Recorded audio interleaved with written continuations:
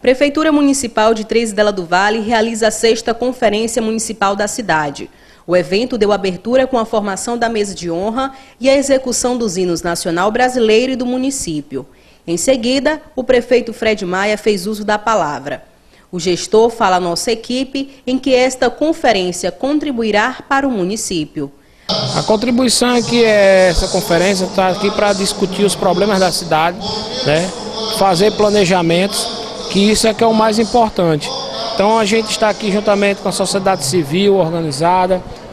É, poderia ter até mais gente, poderia estar os sindicatos aqui participando, mais vereadores, só apareceu três vereadores. Que isso é que é importante. A hora de discutir os problemas da cidade é aqui, na conferência, para depois a gente irmos cobrar e efetuar o que a gente realmente necessita.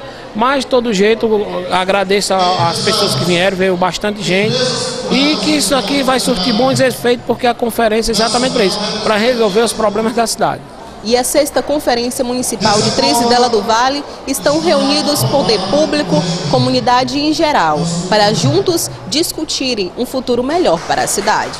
Os principais objetivos da conferência são propor a interlocução entre autoridades e gestores públicos do Estado do Maranhão com os diversos segmentos da sociedade sobre assuntos relacionados à política e o desenvolvimento urbano. Sensibilizar e mobilizar a sociedade local para o estabelecimento de agendas, metas e planos de ação para enfrentar os problemas existentes no município, entre outros. A finalidade da conferência é indicar prioridades de atuação na área de desenvolvimento urbano para o município, o Estado e a União. Eleger as entidades que atuam no âmbito do município para compor, por meio de suas representações, o Conselho Municipal da cidade no período que corresponderá ao triênio de 2017 a 2019.